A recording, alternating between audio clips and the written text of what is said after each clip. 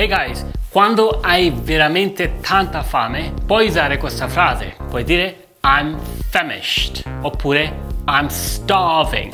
Una di queste due espressioni vanno bene per dire che hai tanta fame.